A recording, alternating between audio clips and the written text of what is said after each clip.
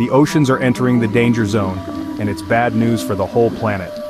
A new study reveals that ocean acidity has already crossed a critical threshold. Scientists from the United States and United Kingdom analyzed global ocean data and computer models, focusing on something called aragonite saturation. Aragonite is a mineral that marine animals use to build shells and skeletons. When its saturation drops too low, ecosystems begin to collapse. According to the study, 60% of deep ocean waters and 40% of surface waters have already passed this limit.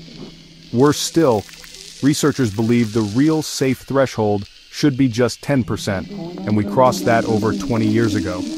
Published in Global Change Biology, the research shows ocean acidification is accelerating faster than expected. This invisible threat harms coral reefs, shell-forming species, and the entire marine food chain. The cause? Carbon dioxide. Oceans absorb carbon dioxide, which reacts with water and makes it more acidic. And it's not just surface waters, deep sea regions are showing even more alarming trends. Polar zones and the North Pacific coast are especially at risk. This isn't just an environmental issue, it's a ticking time bomb for marine life and coastal economies. It threatens tourism, fishing, and millions of jobs worldwide.